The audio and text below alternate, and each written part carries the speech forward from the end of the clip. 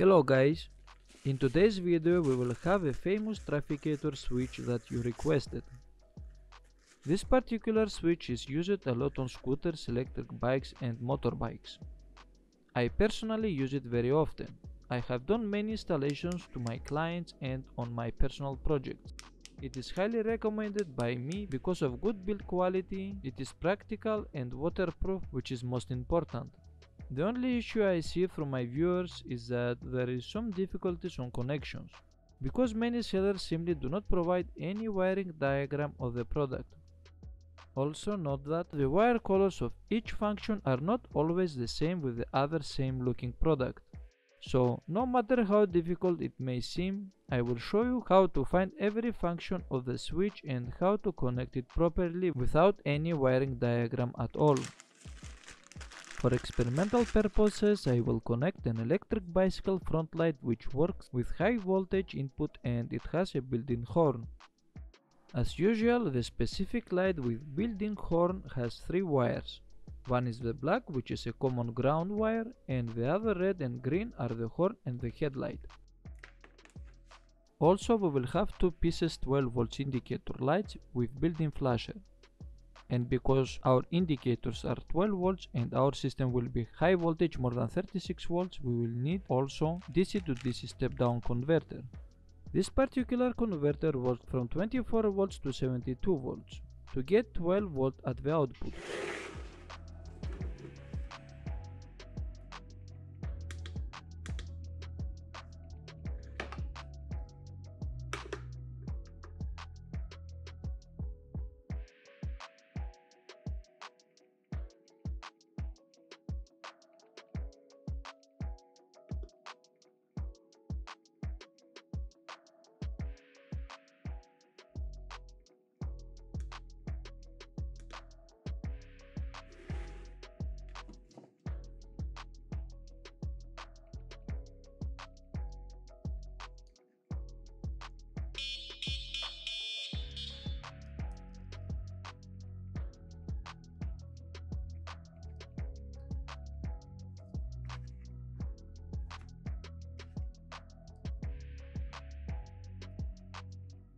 Now I will supply power to the positive and negative wires of the switch,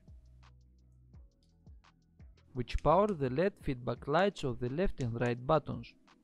Note that the specific turn signal light switch does not have built-in flasher, they are just dry contact.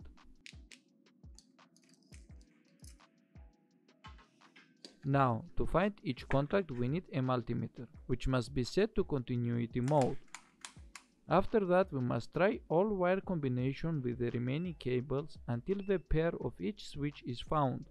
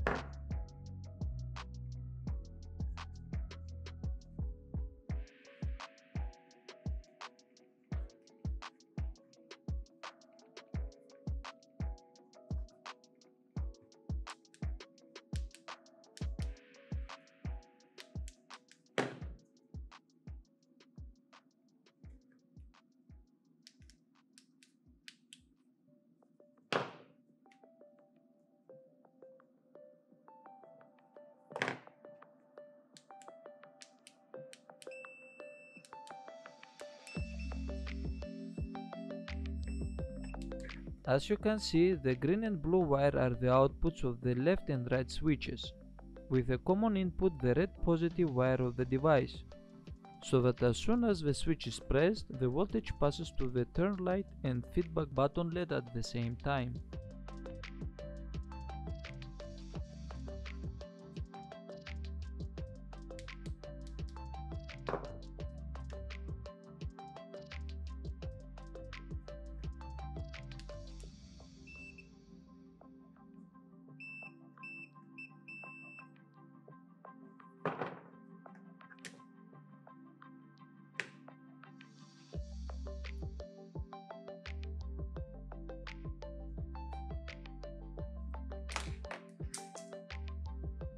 The wires we just found are for the horn, brown and orange wires, which is a dry contact switch.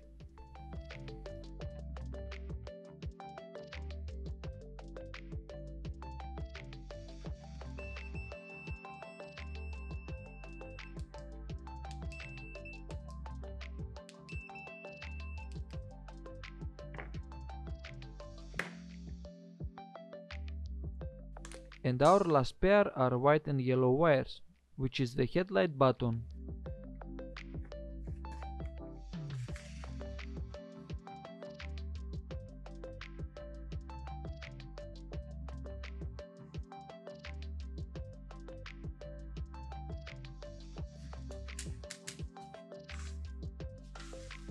Now it is time to connect our wire pairs.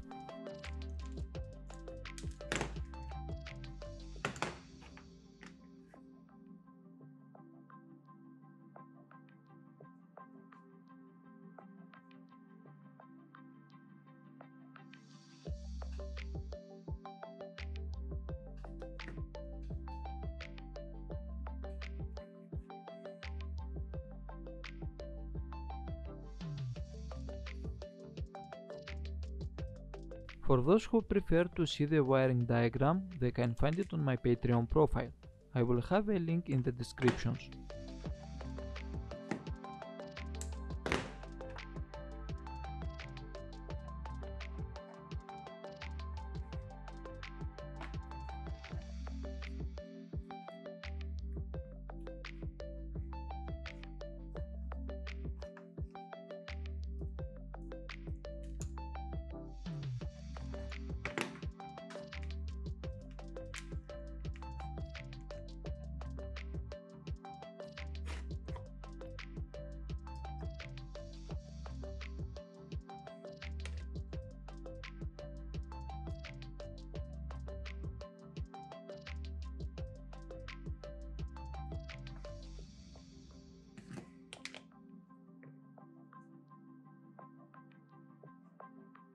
The first wires I will solder will be the horn wires, which is a brown and orange.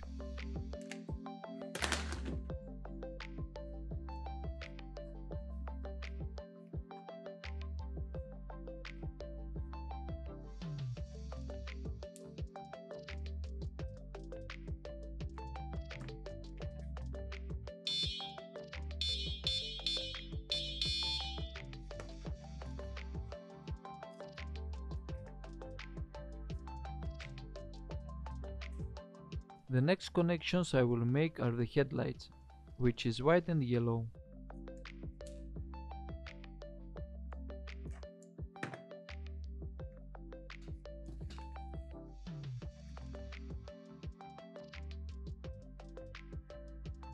Note that our headlights wires must be connected correctly, with the yellow wire going to the power supply and white output to the light.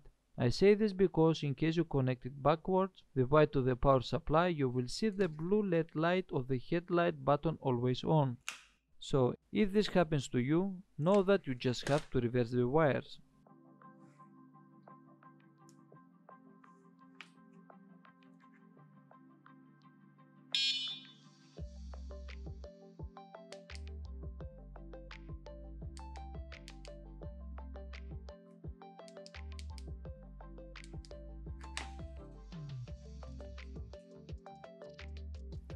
And last connections will be our 12 volts turn lights.